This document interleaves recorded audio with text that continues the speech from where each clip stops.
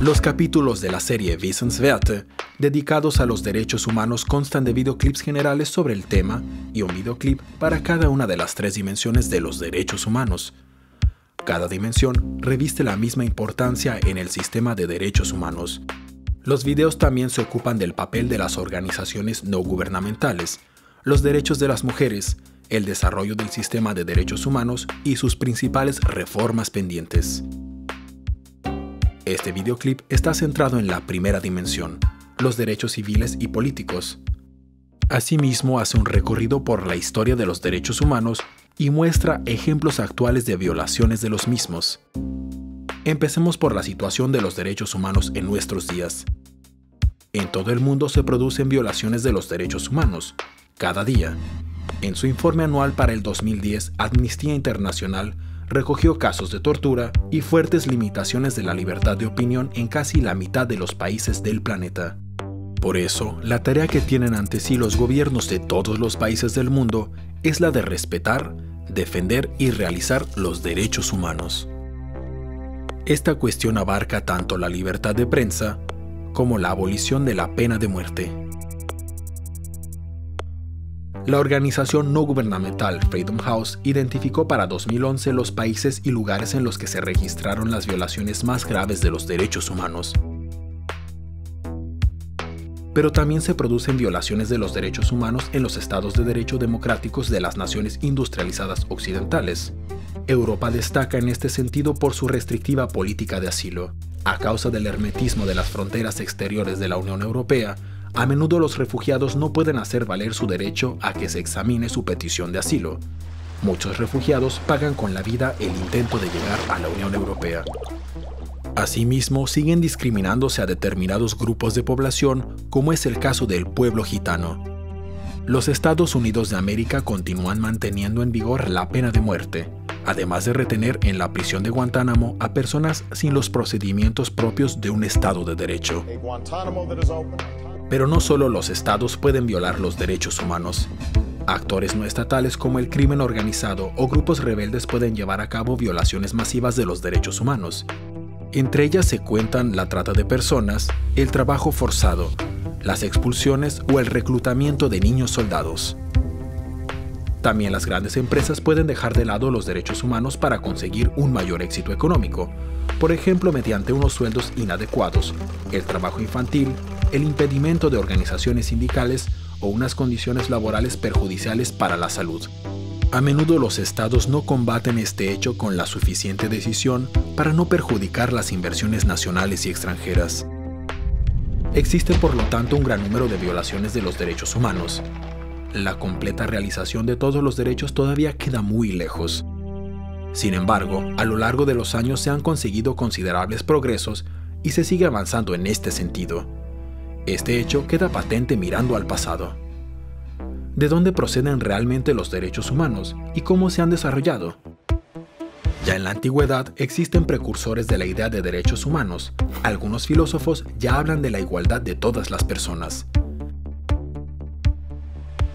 La Carta Magna limita por primera vez el abuso de poder de los reyes ingleses. En la Edad Moderna comienza a transformarse la imagen del ser humano, antes, este era definido como parte del grupo en el que había nacido. La mayoría de las personas eran campesinos siervos.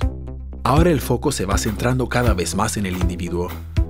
Esta evolución se ve favorecida por las mejores oportunidades educativas y el debilitamiento del feudalismo. El primer gran punto de inflexión en la idea de derechos humanos se produce con el inicio de la Ilustración. En la filosofía de la Ilustración, se reflejan los intereses de la pujante burguesía. Esta quiere asegurar su poder económico y lucha por conseguir participación política. El acta habeas corpus limita el despotismo por parte del Estado. Según la misma, nadie puede ser juzgado o encarcelado sin un juicio ni un juez. En la Declaración de Derechos, Bill of Rights, se limita aún más el poder de la corona a la vez que se refuerzan los derechos del Parlamento. Estos tres instrumentos marcan hitos fundamentales para los derechos humanos. Sin embargo, favorecen a muy pocas personas, sobre todo a la nobleza y al pequeño estrato de ciudadanos acomodados. También en la filosofía se realizan considerables avances. La idea de derecho natural ya surgió en la antigüedad. Según esta idea, existe un derecho no escrito superior al de las leyes estatales. Al principio, este derecho se justifica con argumentos religiosos, como un orden divino de todas las cosas. En la ilustración, el derecho natural se transforma en un derecho racional. Este derecho ya no procede de Dios, le corresponde a todo ser humano por su calidad de ser racional. Ron Locke es uno de los primeros precursores de los derechos humanos. Según Locke, determinados derechos corresponden al ser humano de forma natural, el derecho a la vida, la libertad y la propiedad. Locke desarrolla además un aspecto nuevo y muy importante, la obligación del Estado de proteger estos derechos. Y si no lo hace, existe el derecho a la revolución. El concepto de los derechos humanos marcó la guerra de la independencia de los Estados Unidos de América y la Revolución Francesa. En el transcurso de estos acontecimientos, la idea de derechos humanos queda por primera vez anclada en textos constitucionales. También en estos casos, los derechos están reservados a hombres blancos acaudalados, una pequeña minoría. Pero aún así, nada puede detener ya el avance del concepto de los derechos humanos. El segundo gran punto de inflexión en la historia de los derechos humanos empieza tras la Segunda Guerra Mundial la terrible barbarie que ha conmovido al mundo entero. En el corto periodo de tiempo transcurrido entre el final de la guerra y el inicio de la Guerra Fría se consigue un logro sorprendente. La Carta de las Naciones Unidas recoge los derechos humanos como una de sus bases fundamentales. Se elabora una Declaración Universal de Derechos Humanos, que es aprobada por la Asamblea General de las Naciones Unidas.